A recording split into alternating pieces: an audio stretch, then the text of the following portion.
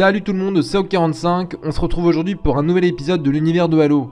On va s'intéresser en détail à la civilisation Pharaoner qui s'est éteinte en 97 448 avant Jésus-Christ à la suite de multiples événements tragiques. Nous voici aux alentours de moins 100 000 avant Jésus-Christ, bien avant les affrontements opposant humains et Covenant, lorsque dans la Voie lactée vivait encore une civilisation qui disparaîtra tragiquement, la civilisation des Pharaoners. Les Forerunners sont de grandes créatures humanoïdes qui peuvent aisément mesurer plus de 3 mètres. Ils ont atteint un niveau technologique très avancé, bien supérieur à celui des humains du 25e siècle. Par exemple, ils disposent d'armures ultra sophistiquées qui renforcent leur capacité de résistance immunitaire et d'espérance de vie. Un Forerunner peut ainsi vivre plus de 6000 ans. Au cours de leur évolution, les Forerunners ont perdu la faculté de rire et de sourire et sont passés à un régime alimentaire bannissant la viande animale. Par ailleurs, les Forerunners ne rêvent pas pendant leur sommeil. Ils peuvent cependant réaliser volontairement des rêves éveillés à des fins administratives ou de diagnostic. L'Empire Forerunner, aussi appelé Ecumen Forerunner, est gouverné par le Conseil Forerunner, qui détient le pouvoir politique et législatif. Le Conseil Forerunner se tient sur Maesrilian, la capitale Forerunner.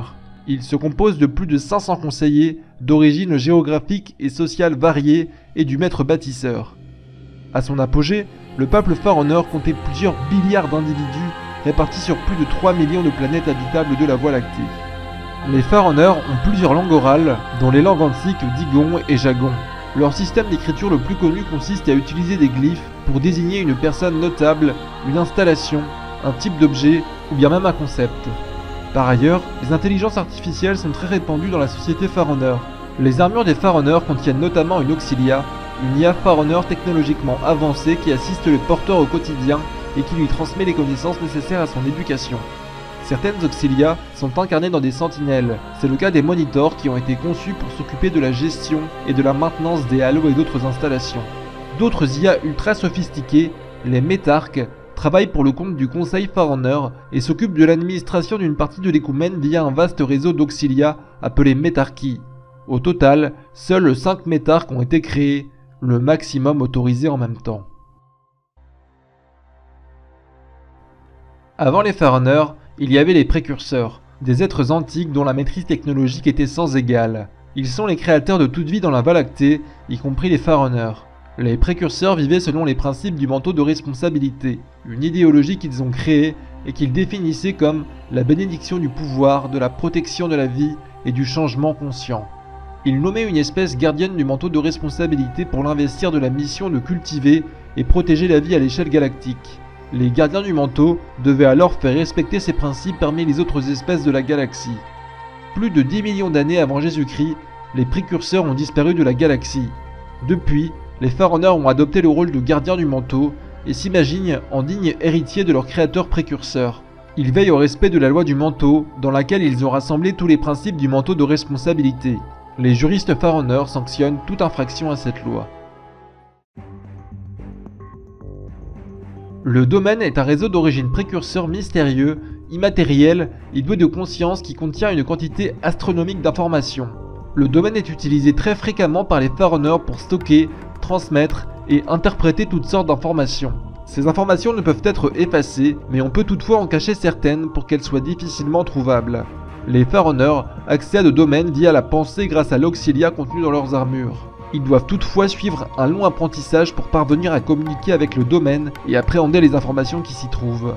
Les juristes Forerunner ont notamment recours au domaine pour récolter les informations utiles à leurs enquêtes. Ils font parfois appel à l'aruspice en place. Il s'agit d'un Forerunner disposant d'un accès privilégié au domaine qui peut ainsi être missionné par les juristes pour récupérer certaines informations difficiles d'accès. Néanmoins, aucun Forerunner ne peut accéder au domaine dans son intégralité. Les parties les plus anciennes du domaine sont inaccessibles.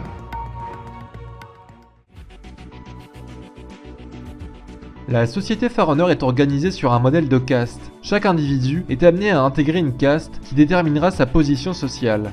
Les castes affectent également la mentalité et le physique de leurs membres. Par exemple, un dimorphisme social a été introduit via l'ingénierie génétique et des manipulations biochimiques pour que chaque individu ait une apparence physique en lien avec sa caste, de sorte que les membres d'une même caste se ressemblent. La tenue et l'armure des Forerunners dépendent aussi de la caste à laquelle ils appartiennent.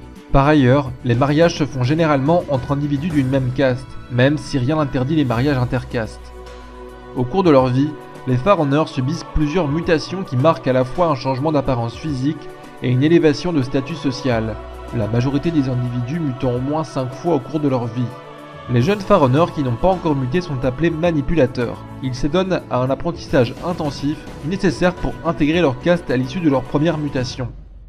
En moins 100 000 avant Jésus-Christ, on dénombre au moins l'existence de six castes, les ingénieurs, les serviteurs combattants, les biotechniciens, les juristes, les mineurs et les bâtisseurs. Les ingénieurs sont la caste la moins élevée socialement dans la société Faronner. Ils ne sont d'ailleurs pas représentés au sein du conseil. Leur rôle consiste à s'occuper de la maintenance et la construction de bâtiments et machines diverses. Les serviteurs combattants ou serviteurs guerriers sont la seconde caste la moins élevée socialement. Ils sont chargés du maintien de l'ordre dans les Koumen Faronner. Les serviteurs combattants sont physiquement plus imposants que les autres Faronner, et souvent plus vulgaires que ces derniers. Ils étaient la caste principale avant la guerre Faronner contre Précurseur et sont d'ailleurs à l'origine du conflit. A l'époque, on les nommait simplement combattants, mais par la suite, la caste perdit en pouvoir et changea de nom, les combattants devinrent les serviteurs combattants.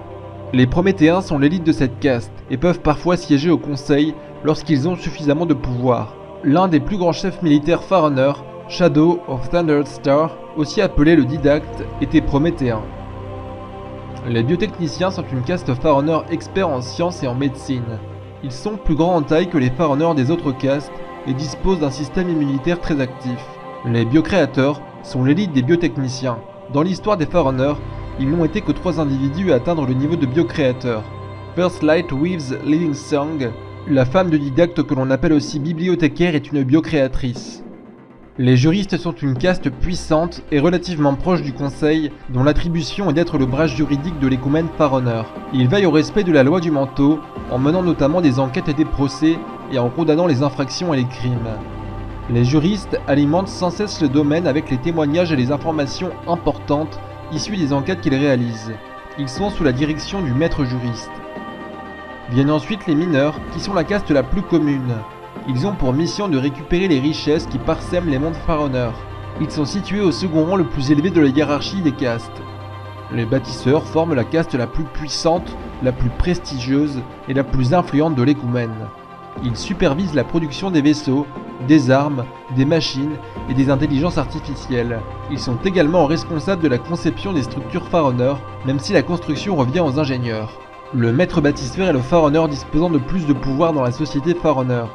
Il est d'ailleurs le seul à connaître l'emplacement des cristaux nécessaires à la maîtrise du sous-espace. Cependant, il peut être révoqué sur décision du conseil.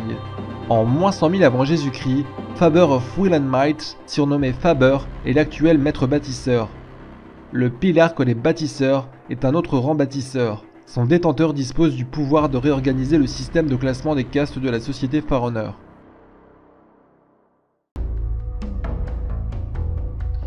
Les Forerunners maîtrisent de nombreuses technologies avancées.